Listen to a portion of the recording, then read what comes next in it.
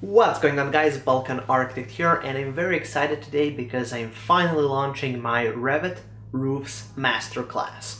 So I decided to create a course for Revit and I was thinking like, okay, this is going to be some sort of a mini course, maybe one hour or something like that. But then more that I kind of uh, researched the Revit roofs and more I had ideas on what to do so it grew from this little course into a whole seven hour Revit roofs masterclass. So uh, in the end the whole course is seven hours long uh, and it includes pretty much everything you need to know when it comes to roofs in Revit. Uh, I start off by explaining all of the Revit tools and kind of the basic functionality of all of the tools that we have on offer and then once we've covered that uh, I cover all of the little settings and uh, all of the little features that are kind of adjacent to that tool and that are necessary to know when it comes to making Revit roofs. Uh, next we move over and we start creating some uh, Revit roofs and I show you uh, the approach for modeling a vast number of uh, different types of roofs. So from uh, some regular roofs that you can see quite often to some roofs that are quite, quite rare to see and, uh, but they all have uh, different approaches and I wanted to cover all of those in this course.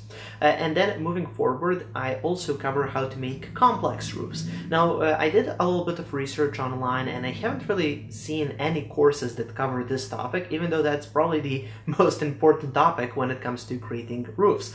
Creating complex compound roofs. These roofs are not just one little footprint and then you create a roof. That's simple. Uh, but in most cases, roofs don't work like that. You usually have multi-level roofs. Uh, you have a lot more work to do. They're usually not just one roof. Usually they're combined out of several different roofs. Like you can have five roofs that can all join together and create one uh, large complex roof. And that's something that they decided to cover. And they actually have three complex advanced uh, Revit roof projects inside of this course where we kind of exercise the different approaches, uh, the methodology, the workflow uh, that's important to understand when it comes to building these. So uh, like all of my Revit courses that are available on my website, uh, this is both theory and then also practice on actual real life projects. Uh, that's I think that's the most important part of these uh, courses. Uh, and then of course I, I, cover how to create the construction uh, of the roof uh, and of course how to represent that. So all of the kind of the, the visibility and the graphic appearance of roofs. I cover all of that. And also as a bonus chapter, even though this is something that I don't usually recommend people do, but I see a lot of people are researching this, and that is how to create a 3D roof tile, Spanish roof tile uh, that's actually in 3D.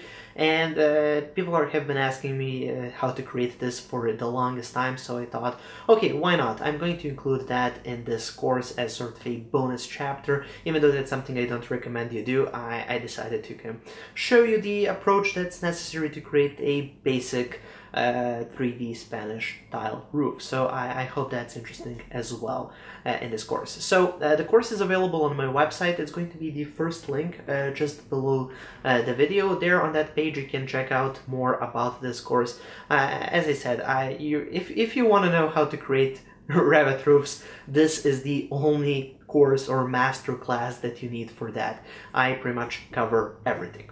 So yeah, that, that's uh, that's why I'm so excited, and it did take me uh, quite a long time, more than usual for creating these courses. But I think that in the end, uh, the whole course is really in depth, highly detailed, and I think uh, you're going to like it really much. Uh, okay, so that's pretty much it for this quick little announcement. Uh, I hope you're excited for this course as well as much as I am, and I'll be back, of course, with another regular Balkan Architect tutorial uh, in a couple of days. So uh, thank you for watching and I'll see you soon. Have a nice day.